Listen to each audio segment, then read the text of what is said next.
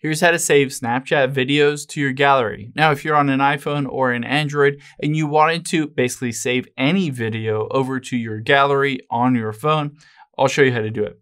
Let's open up Snapchat here. And the first thing we're gonna do is tap on your profile at the top left.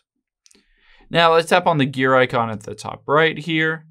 And we're gonna tap on memories at the very bottom you can see two different things. One is this save button. Let's tap on that and switch it to memories and camera roll. Essentially what this does is every time you tap that save button, it will also save it to your gallery. So then let's go back and also use snap, uh, this autosave and hit save to memories. Basically what this does is if you forget to tap that save button, it will save it to your memories. And from there, you can save any of those videos to your gallery. So now that we've done that, let's just go back, back, back, back. And I will take a quick video here.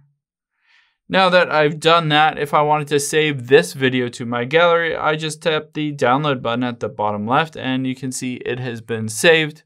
I can hop out of here and show it to you. There it is, the three second video that is now saved on there. Keep in mind, if you do forget to tap that button, you can always just then go into your memories because we set it to auto save into your memories. And from there, you can save it to your gallery as well. Hope this helps. If you have any questions on that, leave them in the comments down below. And I'll catch you on the next one.